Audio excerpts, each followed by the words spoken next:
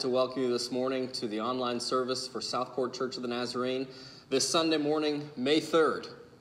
It has been a great many weeks, seven or eight, since we have met as a congregation here in the sanctuary where I am this morning and you are not. And uh, we thought by this time that we might be back in our sanctuary for services, but at this point, it doesn't look like that is happening. And so we'll be in contact, we'll be in touch, and we'll give you news as soon as we're allowed to come back and have services together. But for now, let's worship together this morning. Let's invite the Spirit's presence to come and to meet with us and to minister to our hearts. Let's pray. Our Father, we come to you this morning. We thank you for this another day that you've given to us. We thank you for your grace. We thank you for mercy. We thank you for your faithfulness to each one of us. O Lord, great is thy faithfulness, and we appreciate your goodness to each one of us during this time of the coronavirus. We're so glad that our God is still in, control. You know all things. You, you know all the uh, possibilities that are going on with this uh, disease. But Lord, our faith is in you, and we know, Lord, that you are, are able to do exceeding abundantly above all that we were to ask or to think, according to the power of God that works in us. Father, we pray for each one of those in our church family this morning who have had situations and illnesses and, and uh, even death in the family.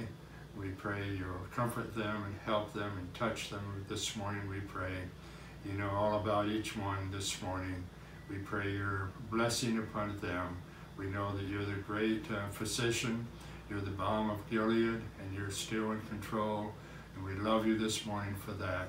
We're so glad, Father, for the possibilities that are ours, and we're looking to you for grace and help in the future days that lie ahead. Father, we pray you bless the service this morning. Would you bless the singing, the message of the hour? We pray your blessing upon each one of the members of the church. Have thy way in each of our lives and help us, Lord, to always glorify you in all that you do. And we'll praise you, for we ask it in Jesus' precious name. Amen.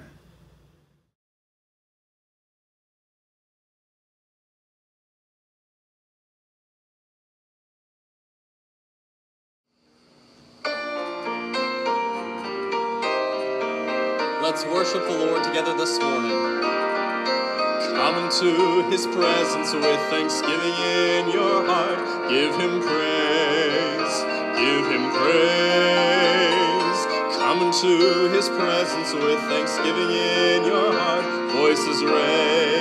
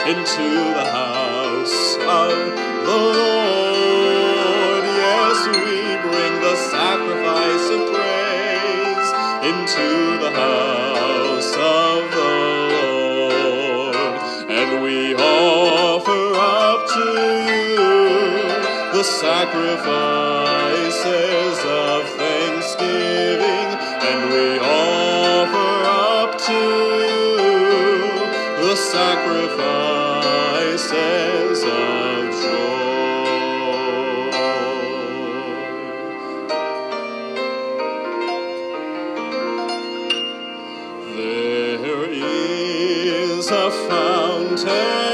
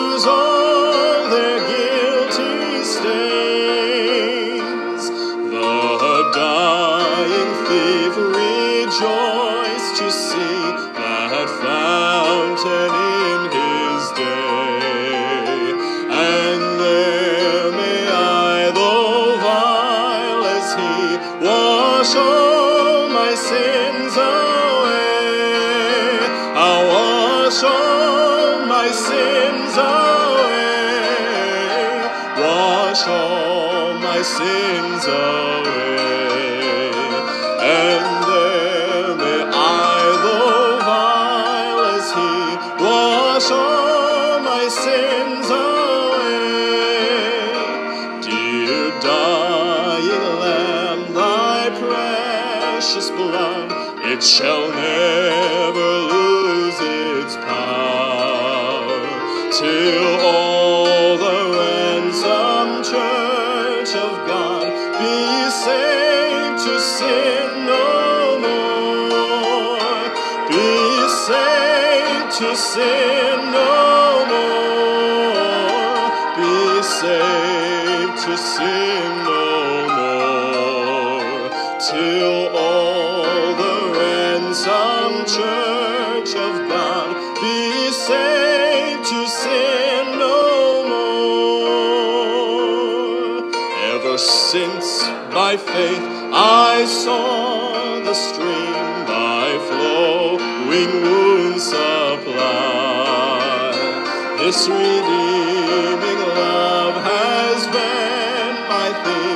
and it shall be till I die. Oh, yes, it shall be till I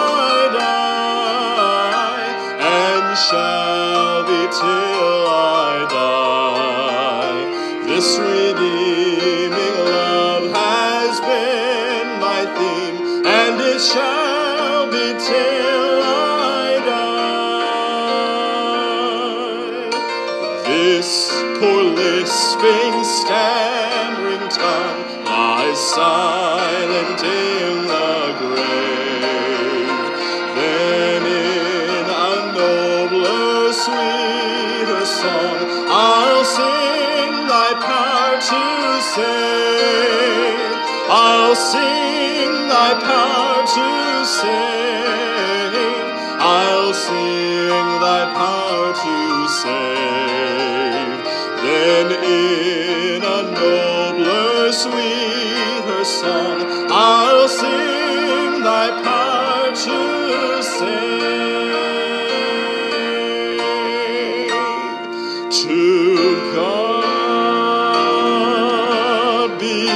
the glory.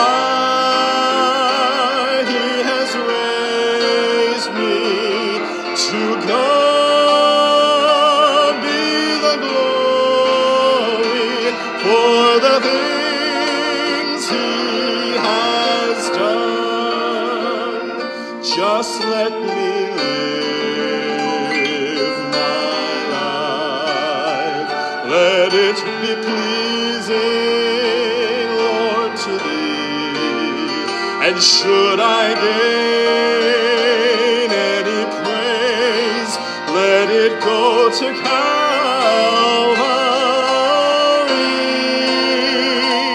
with his blood. He has saved me with his power. He has raised me to God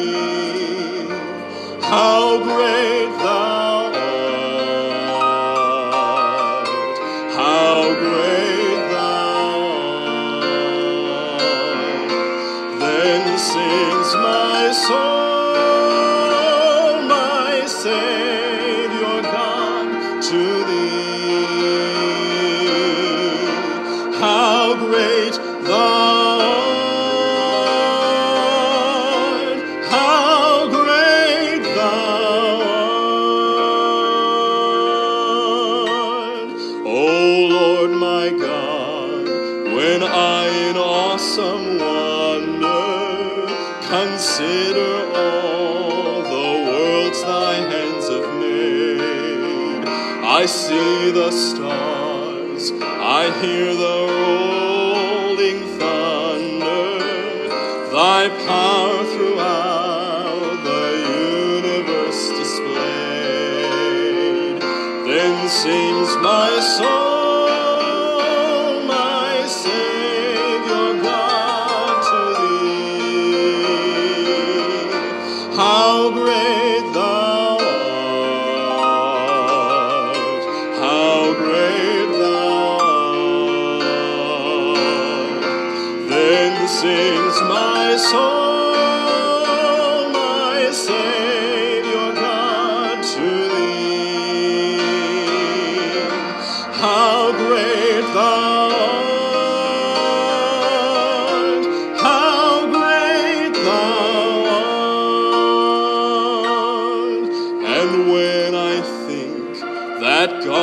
his Son not sparing sent him to die, I scarce can take it in that on the cross, my burden gladly bearing, he bled and died to take away my sin.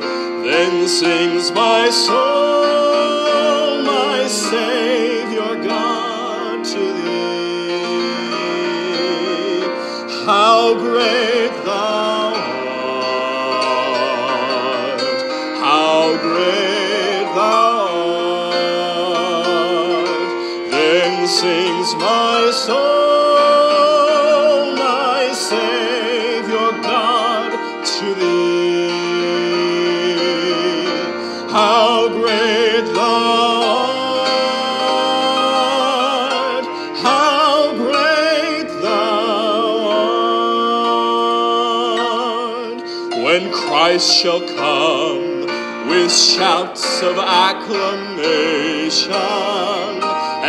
take me home, what joy shall fill my heart? Then I shall bow in humble adoration and there proclaim, my God, how great thou art. Then sings my soul,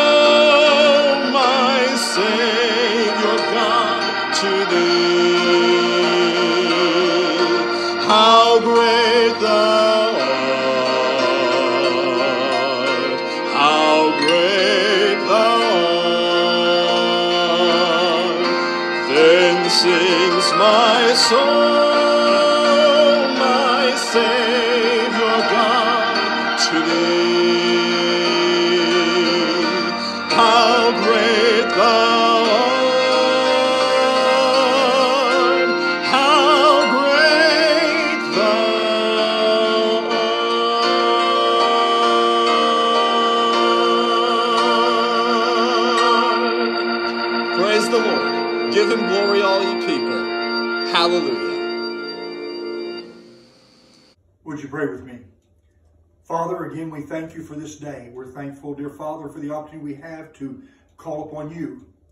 And Lord, even though we can't meet in your name, dear God, we know that you are you will help us, dear Father, through this time, that you will give us understanding, that you will guide us and lead us.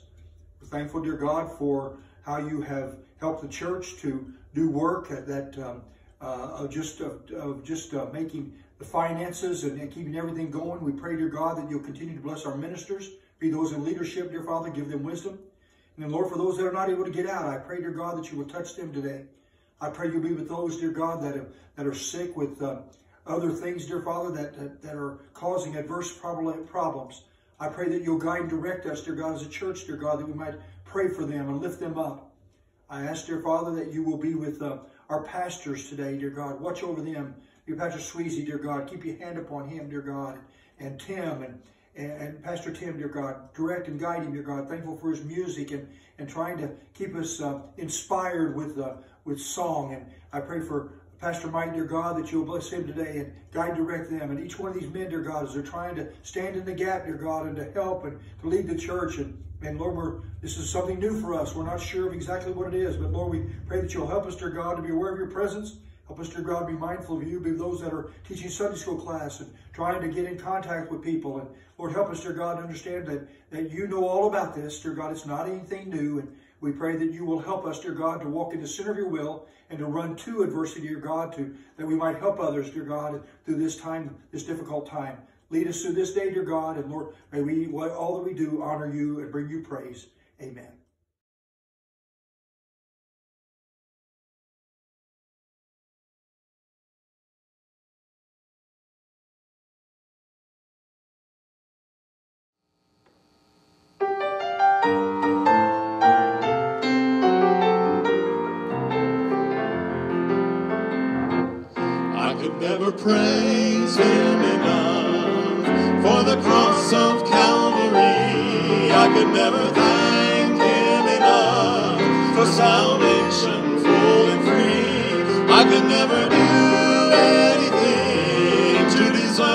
Such perfect love.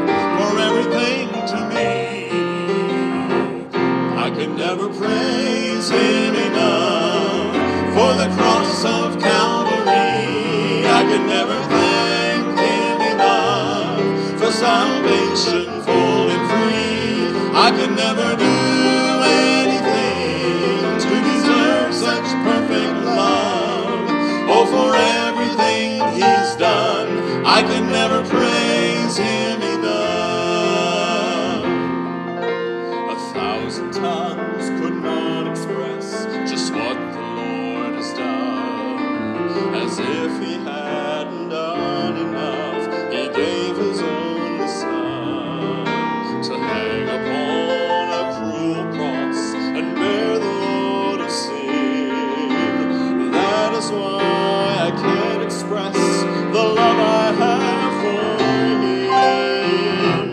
I could never praise him enough for the cross of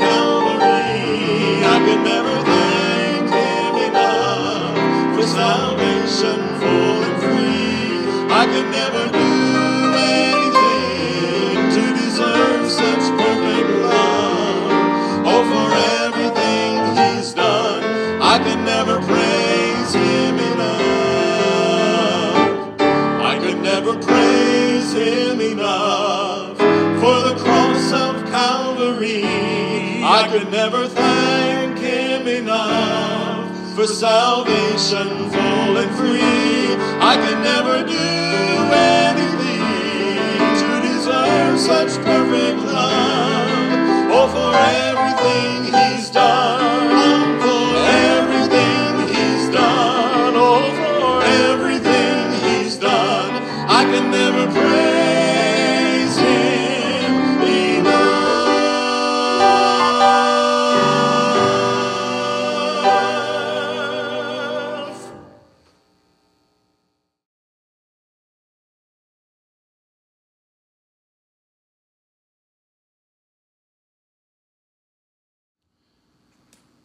Good morning. I'm reading from the book of Job, chapter 1, verse 1, and I'm reading from the New International Version. In the land of Uz, there lived a man whose name was Job. This man was blameless and upright. He feared God and shunned evil. He had seven sons and three daughters, and he owned 7,000 sheep, 3,000 camels, 5,000 yoke of oxen, and 500 donkeys, and had a large number of servants. He was the greatest man among all the peoples of the East. His sons used to take turns holding feasts in their homes, and they would invite their three sisters to eat and to drink with them. When a period of feasting had run its course, Job would send and have them purified. Early in the morning, he would sacrifice burnt offering for each of them, thinking, Perhaps my children have sinned and cursed God in their hearts. This was Job's regular custom. One day the angels came to present themselves before the Lord, and Satan also came with them. And the Lord said to Satan, Where have you come from? Satan answered the Lord, From roaming through the earth and going back and forth in it. Then the Lord said to Satan, Have you considered my servant Job? There is no one like him. He is blameless and upright, a man who fears God and shuns evil. Does Job fear God for nothing? Satan replied. Have you not put a hedge around him and his household and everything he has? You have blessed the work of his hands, so that his flocks and herds are spread throughout the land. But stretch out your hand and strike everything that he has, and he will surely curse you to your face.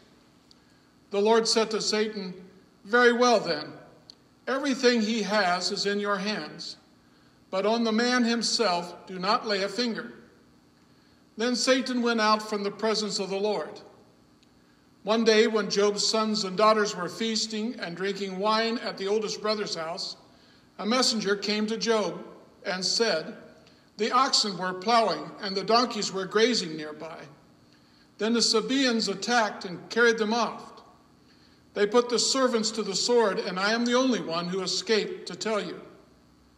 And while he was speaking, another messenger came and said, The fire of God fell from the sky and burned up the sheep and the servants, and I am the only one who has escaped to tell you.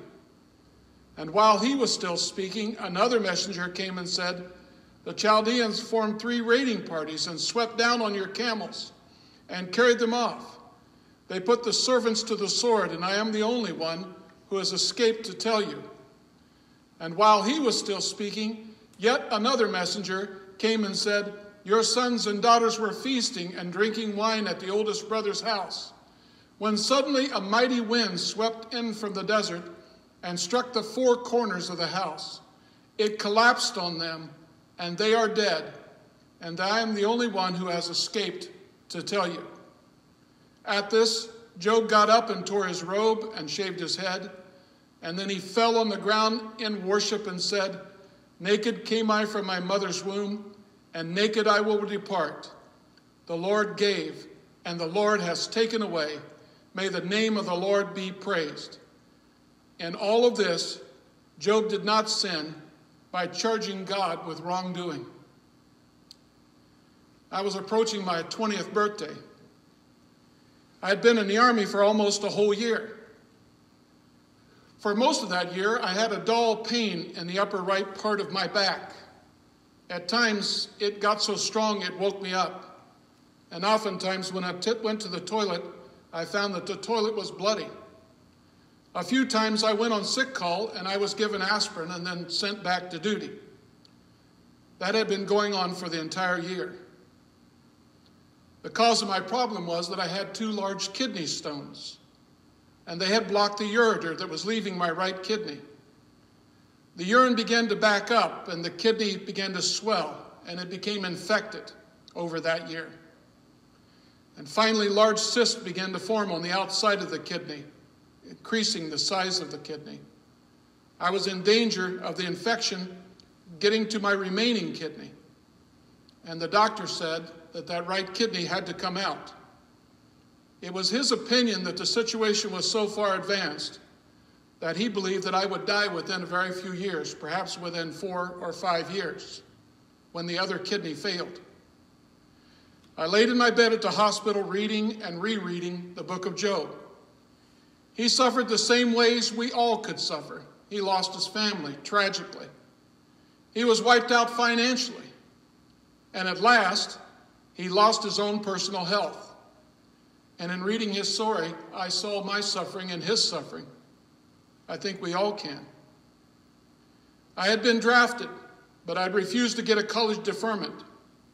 I was a medic and I was working hard to serve the sick and the injured through our MASH hospital. I worked in a coffee house ministry during my off hours in personal evangelism and had won a number of people to the Lord. I ran a, a once weekly Bible study for the 32 new believers that I had won to the Lord in this coffee house ministry. I was doing what I felt God was directing me to do. The problem for me was the same problem that Job had. It wasn't that I was suffering, it was I didn't feel like I deserved what was going on. Like Job, I turned my face toward God and I asked, Why me? And then I turned to the Bible and I began reading in the book of Job and I found God's answer. Now, for me, it was a satisfying answer. It may not be a satisfying answer for you. You'll have to speak to God about that. But here is what I learned when I was reading the book of Job at the ripe old age of 20 years old. The first thing I learned was that all suffering is not a punishment for sin. Every man's suffering is not an indication of the measure of their guilt. There truly are godly people who suffer. I want you to think about all the innocent infants who, over the years, have suffered bitterly what could they possibly be guilty of? And yet, it seems like that when people are going through terrific sufferings, one of the first things my 42 years of experience of a pastor has taught me that those people think is, Dear God, what have I done to deserve this? The answer may be nothing. And that was the first thing that occurred to me. Second, I learned that my relationship with God wasn't a closed relationship, and that was startling to me. I thought that, that it was Jesus and me. I really thought that my relationship with God was a closed relationship, but it really isn't. We're not in some kind of a, a hothouse with a controlled temperature, just us and God, and, and He sees to our, all of our needs and we grow accordingly. That's not really happens. Look at this story in verse 9. Satan intrudes on the relationship between Job and God. And how does he do that? Well, in 9 through 11, he makes an accusation against us to God. Does Job fear God for nothing? Satan replied. Have you not put a hedge around him and his household and everything he has? You've blessed the work of his hands so that his flocks and his herds spread throughout the land. But stretch out your hand and strike everything he has, and he will surely curse you to your face. You know what the accusation is? The accusation is that Job is actually a pretty selfish man. And the only reason he has a relationship with God is because of the good things God will do for him as a result of that relationship. What can I get out of him? I remember reading Dr. C.S. Lewis talk about being a chaplain and doing chaplain's work during World War II. And he was addressing a group of uh, young officers uh, who were going out to fight in North Africa. And while he was talking to them about faith, one man stood up and said, Look, I just don't believe in this Christian stuff you people talk about. I know I have to be here and listen to this lecture, But I totally disagree with what you're saying, Dr. Lewis. For one thing, I think all Christians are selfish. Whenever I hear them talking about things, they talk about things like heaven and streets of gold and, uh, you know, pie in the sky by and by, good things happening to them all the time. I think Christians are basically selfish people, and they found a God who they can worship for their own selfish ends. And Dr. Lewis said to him, Well, I've got a couple of things I would like to say to you. First of all, there's either pie in the sky by and by or there's not. My Bible says that there is, and I choose to believe what the Bible says. And secondly, I think you've got something terribly wrong in your mind somehow. There's nothing in heaven that a greedy soul would be able to find enjoyable. It's not about selfishness, it's about serving the Lord. And so the devil attacks as a tempter to try to turn us away from God. And what does he do? In chapter 2, verse 9, he literally uses Job's wife. Verse 9, his wife said to him, Are you still holding on to your integrity? Curse God and die. Where did we hear those words before? It was in the first chapter. Those are the words of the devil. Job's wife is literally saying what the devil wants her to say and is attacking God to Job. First, he attacks Job to God. He's a selfish man. And now he attacks God to Job and tries to break up the relationship between them. The advice comes from somebody that Job, Job really loves, and it's a temptation. And it's actually an easy answer if you think about it. When things are going badly and you can't find a quick answer, the easiest thing in the world is just to turn your back on God and blame Him for everything. But Job would not turn away but just kept waiting. He was facing God, looking directly in his face and asking, Why me? I, when I kept reading the book of Job over and over again in that hospital, I kept thinking the same thing. Look, God's got the answer. And uh, I believe He'll give me an answer. And I just kept asking Him over and over again, How come these medics for a whole year ignored my physical condition? Why didn't they treat me properly? How come I wasn't given proper testing? Why didn't they take me seriously when I was in, in training? And, uh, and, and, ta- and now they've, they've caused me to lose my kidney. And, and I really was upset about that. But I kept asking God, why me? I don't know if you've ever had kidney stones, but I can tell you it's extremely painful.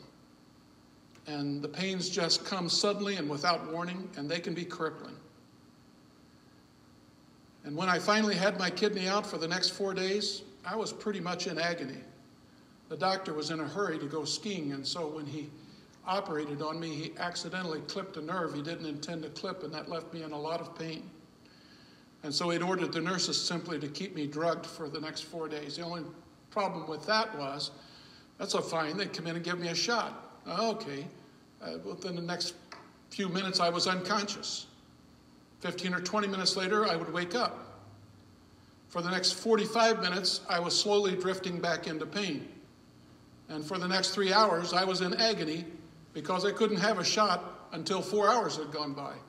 And I went through that for four days, just chewing on my tongue and trying to survive those long three hours watching the second hand go around the face of that big old clock that hung in that six man room where I was in the hospital. The advice comes from somebody that Job loves. But Job just keeps looking at God and asking God. You know, if Satan's right, Job only serves God for selfish reasons. You know what that means? That means that Job's a sinner and that God's a fool. The scripture tells us that Job was a righteous man. And we all know that God is not a fool. And so, what does that mean? It means the devil's a liar. And that was one of the things that occurred to me. Whatever the devil is saying to me, I need to not pay attention to it because it's not the truth. He said that once Job is robbed of every outward sign of God's favor, that Job would curse God to his face and die, but Job refused to do that when all those outward signs were removed. We really see him in such a horrible situation that when finally Satan touches Job's body and he's stricken with these awful boils from the top of his head to the bottom of his foot, and he's sitting there in his agony and, and suffering, and his wife is making these suggestions you ought to curse God and die. We find out that he, he will not do it. Look at uh, chapter 2, verse 7. And so Satan went out from the presence of the Lord and afflicted Job with painful sores from the soles of his feet to the top of his head. And then Job took a piece of broken pottery and scraped himself with it as he sat among the ashes. His wife said to him, Are you still holding on to your integrity? Curse God and die. But he replied, You're talking like a foolish woman. Shall I accept good from God and not trouble? I think that was the answer that I found when Job said that. I remembered what my life was like when I first came in the church with my buddy, uh, Steve Nestor. His mother made him come. I remember how confused and how troubled it was and all the things that were going on wrong in my life. And I remember what happened after the day I was saved and came to the altar and prayed through and found Christ as my Lord and Savior. And I remember all the things that I learned from then on, growing up in the Lord. And I, I, I, knew about the blessings that God gave. Have you ever talked to somebody about their soul who's troubled and upset and lead them to Christ and see the change on the person's face when they find the Lord? I had 32 brand new believers in my class that I had won to the Lord, and I was teaching them daily out of the book of Romans. And I kept thinking of all the blessings that God had poured out in my life and the things that He had done for me. Yeah, I was in a lot of pain and I was in a lot of trouble, and I couldn't quite understand why it was happening to me. But I remembered that God had done an awful lot of good things for me. And I remember that God had forgiven me of my sins. I remember the Sunday that, that the preacher was speaking. He was a minister from Indiana. His name was Gene Phillips. I don't remember what Gene said. But I do remember that when I got up from the pew to come to the altar, that I knew immediately when I stepped out in the aisle that the Lord had forgiven me of my sins. I felt that in my soul. And I can't tell you what joy and what relief uh, that gave me and, and how the confusion seemed to melt away. Are we going to just accept good things from God? I think Job's asking the right question here. It was a satisfying answer for me. I didn't know what the future held. I didn't know whether the doctor was right, whether I only had four or five years to live. Turns out, since I'm 67 now, he was wrong. But I did know that those four or five years with Christ was better than anything that I had enjoyed those years before. And I was going to accept whatever came my way as long as I could stay close to the Lord. Curse God and die? No, devil, I don't think so. And I don't care who you send to suggest that to me. Shall we accept good from God and not trouble? Job teaches us to trust God no matter what we're going through. Because we're not worshiping God because of what He does for us, we're worshiping Him because of who He is to us. He's our God.